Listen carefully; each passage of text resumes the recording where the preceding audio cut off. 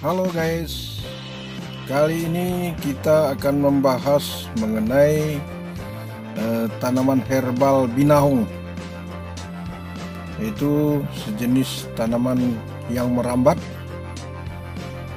yang batangnya berwarna merah itu disebut binahung merah. Eh, binahung ini tak hanya daunnya yang dapat dijadikan herbal, tetapi bijinya juga dapat diolah menjadi herbal yang cukup banyak khasiatnya. Misalnya untuk radang mata, radang usus, dan memiliki uh, zat radikal bebas yang berwarna biru ataupun ungu itu untuk menangkal kanker. Dan selain itu, biji dari binahong ini biji itu terdiri dari uh, daging buah kemudian ada uh, airnya yang berwarna tinta biru tinta uh, baru bijinya. Biji ini dapat juga dikembangbiakkan uh, jadi juga dapat untuk mencegah diabetes dan kolesterol obat. Uh, untuk mengolah bibit ini, mengolah biji binat binawong, pertama kita panen eh, biji-biji uh, yang sudah 90% masak. Memang sering terjadi bahwa ujungnya itu belum masak, sekitar 10%.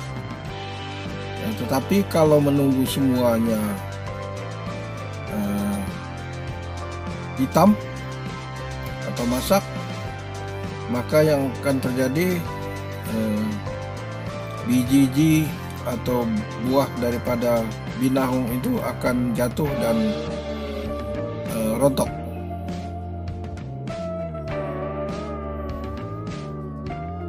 Ya, ini kita sedang panen ini, nah, dilihat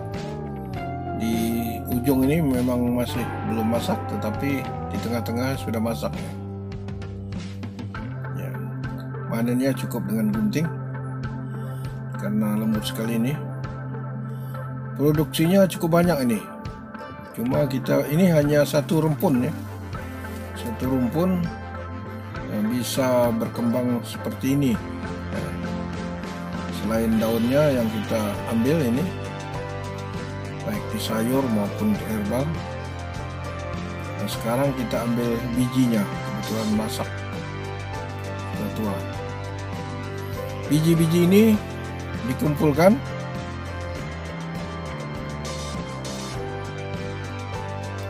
Di suatu wadah. Tentu saja wadahnya agak rapat karena biji yang kecil ini bisa jatuh ke tanah apabila tidak diwadahi dengan baik. Apalagi kalau sudah berwarna eh, hitam, ini eh, mudah sekali rontok. Eh, setelah dipanen, dikumpulkan, kemudian dijemur, dikering anginkan Nah, dijemur ini maksudnya pertama mengurangi kadar air sehingga tanaman eh, atau biji bisa tahan lama.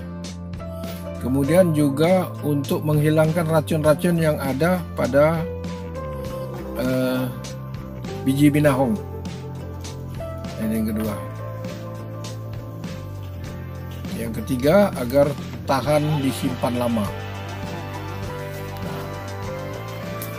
Ini dijemur ya dikering anginkan kalau terlalu kena panas terik biasanya kandungan gizi juga hilang. Oleh karena itu yang terbaik adalah dikering anginkan.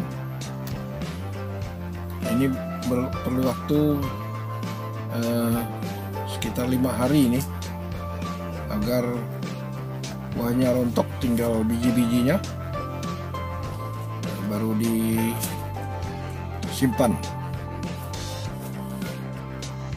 Uh, untuk yang sudah kering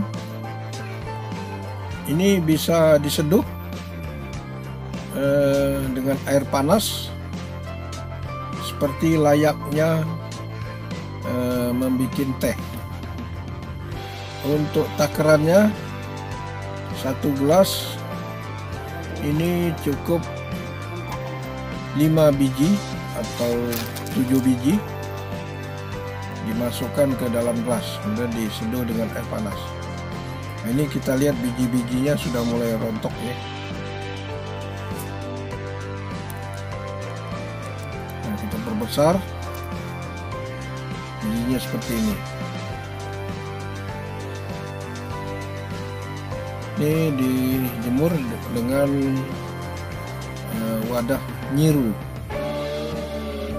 Nah, ini kalau masih basah ini dipijit akan keluar lendir dan uh, berwarna biru tinta. Biru keunguan uh, walaupun binahong hijau juga buahnya merah ini adalah binahong merah. Ini ada sekitar 5 7 7 butir. Kita seduh dengan air panas.